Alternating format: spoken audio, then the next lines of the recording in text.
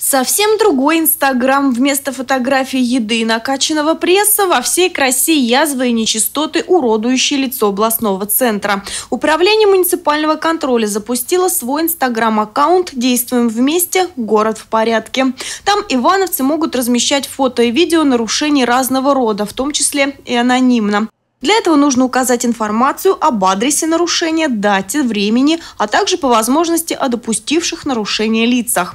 К муниципальному контролю можно обратиться по вопросам незаконной уличной торговли, рассказать о самовольном размещении объявлений на фасадах зданий, спиленных, но не убранных деревьях во дворах и об антисанитарных условиях на городских улицах. С проблемами ЖКХ и благоустройства лучше обращаться в Твиттер к народному инспектору.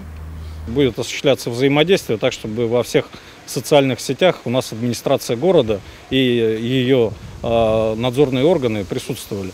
А, соответственно, задача у нас какая? Сейчас э, обеспечить э, выполнение или решение тех проблем, с которыми к нам обращаются граждане.